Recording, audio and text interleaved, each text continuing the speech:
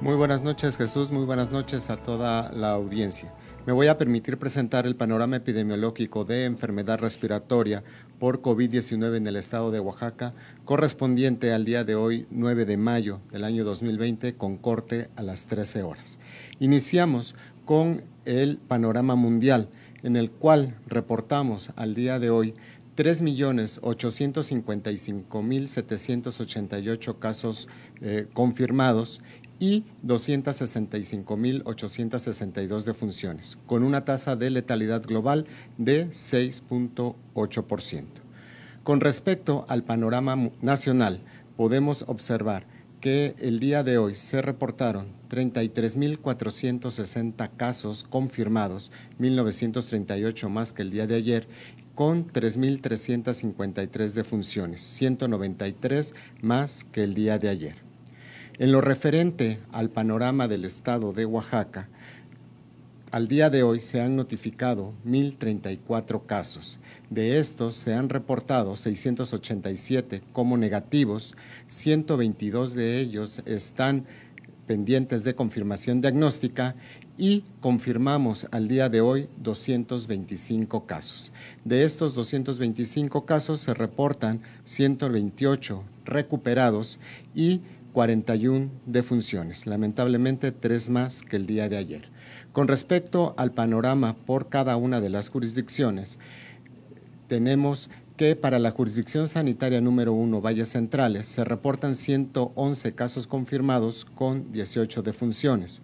Para la jurisdicción sanitaria número 2, Istmo, 30 casos confirmados con cinco defunciones, mientras que para la jurisdicción sanitaria número 3 Tuxtepec, 31 casos confirmados con 8 defunciones, para la jurisdicción sanitaria número 4 Costa, 15 casos confirmados con 3 defunciones, para la jurisdicción sanitaria número 5 Mixteca, 36 casos confirmados con 7 defunciones. Y la jurisdicción sanitaria número 6 Sierra se mantiene con dos casos confirmados y ninguna defunción reportada al momento.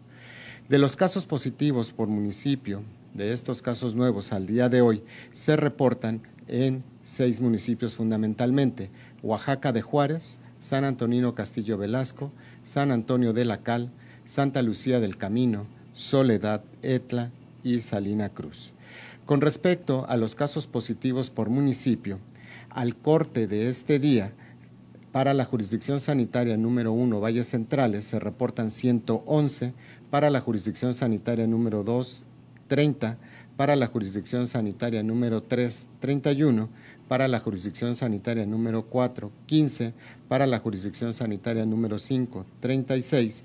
Y para la jurisdicción sanitaria número 6, 2.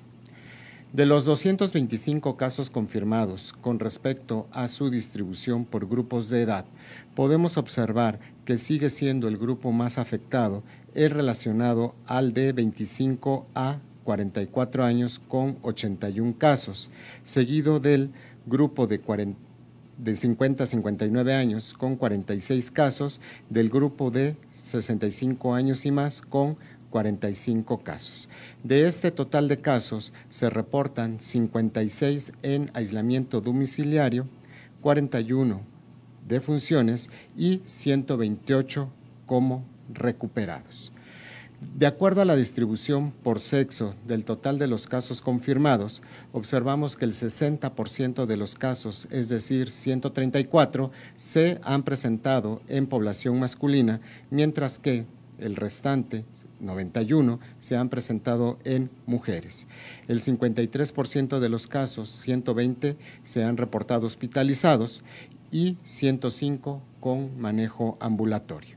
Con respecto a la institución de atención, 128 casos han sido atendidos en hospitales y unidades de los servicios estatales de salud, mientras que 48 en el Instituto Mexicano del Seguro Social en su régimen ordinario, 23 en el ISTE, 14 en el Instituto Mexicano del Seguro Social régimen Bienestar, 5 en Secretaría de Marina, 3 en Sedena, 3 en Pemex y 1 en otras unidades médicas. En lo referente a los casos eh, recuperados, de acuerdo a la distribución por jurisdicciones sanitarias, observamos que en la jurisdicción sanitaria número uno se reportan 68 casos, en la jurisdicción sanitaria número 2, 16, para la jurisdicción sanitaria número 3, 14, para la jurisdicción sanitaria 4, 8, para la jurisdicción sanitaria 5, 21 y para la jurisdicción sanitaria número 6, 6 casos reportados. En lo referente a los casos eh, activos para este día, la jurisdicción sanitaria número 1 reporta 25, la jurisdicción sanitaria número 2 9, la jurisdicción sanitaria número 3 también 9, la jurisdicción sanitaria número 4 reporta 4 casos, la jurisdicción sanitaria número 5 8 y finalmente la jurisdicción sanitaria número 6 un solo caso. De acuerdo al comportamiento de las defunciones, es importante recalcar que 22 de las 41 se han presentado en población de 65 años y más. De estas defunciones, 28 de ellas han ocurrido en varones, mientras que 13 en mujeres.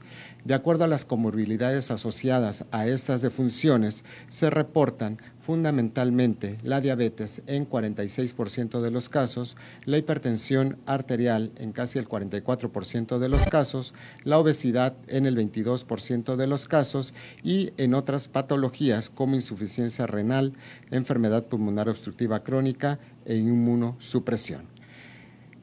Terminando esta información, cabe recalcar a toda la población que es fundamental continuar realizando las acciones de sana distancia, lavado de manos, con protección de los grupos de riesgo que hemos mencionado de manera continua, como son mujeres embarazadas, población que vive con diabetes, hipertensión y algunas otras enfermedades que causan inmunosupresión como VIH-Sida, entre, entre otras. De igual manera, recordarles la importancia de quedarnos en casa. Buenas noches.